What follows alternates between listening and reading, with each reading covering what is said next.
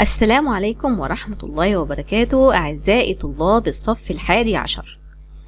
إن شاء الله بكون معاكم طوال العام الدراسي لشرح مادة العلوم والتقانة. أتمنى لكم جميعا كل التوفيق وعام دراسي مكلل بالنجاح إن شاء الله. في البداية أحب أستعرض معاك مكونات منهج العلوم والتقانة. في الفصل الأول إن شاء الله عندنا وحدتين. الوحدة الأولى بتتكلم على دور الكيمياء في حياة الإنسان. وكمان هنتعرض هنا لمجموعة من الصناعات اللي بتقوم على أساس الكيمياء.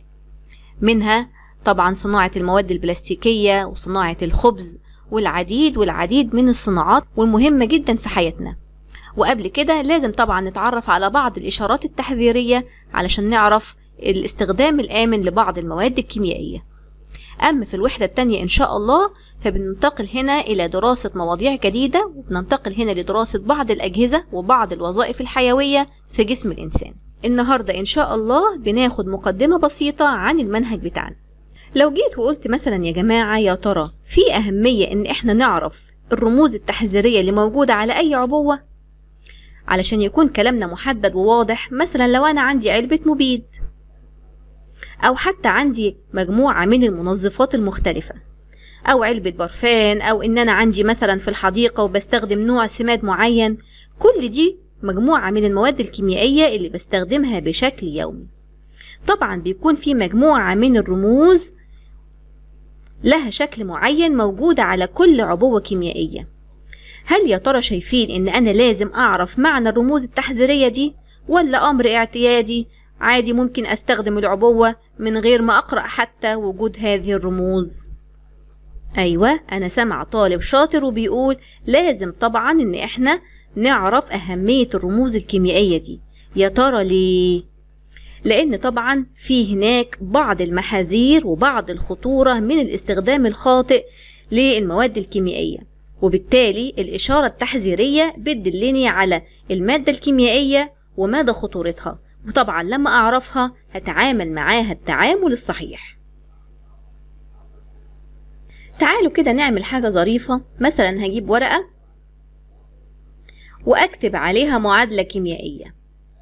طبعا كلنا متفقين إن الرموز دي إحنا أخدناها قبل كده في سنوات دراستنا السابقة.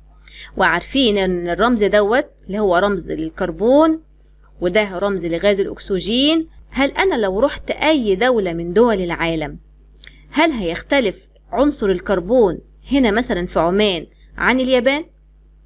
أو اتجهت لأي دولة عربية هل حد فينا هيختلف إن دوت رمز الأكسجين؟ أكيد الإجابة لأ. طبعا لأن الرموز دي رموز عالمية موحدة. هروح أي مكان هلاقي نفس رمز الكربون وهلاقي نفس رمز الأكسجين. كذلك الأمر على فكرة في الرموز التحذيرية. شوف السؤال اللي إحنا هنقوله دلوقتي. ما الحكمة من وجود رموز كيميائية موحدة لجميع العالم؟ يعني الإشارة التحذيرية اللي موجودة على علبة المبيد أو منظفات أو أي مادة كيميائية ألاقيها ثابتة في كل دول العالم. ليه؟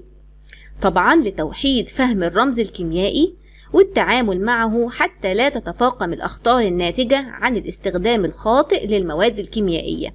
معنى كلمة تتفاقم يعني تزداد يعني لو الرموز التحذيرية دي موجودة وبتختلف من دولة إلى دولة ممكن معرفش أستخدم المبيد أو أستخدم المادة الكيميائية الاستخدام الصحيح ومنها ممكن ينتج عندي بعض الأخطاء وأنا لازم طبعا أتفاداها.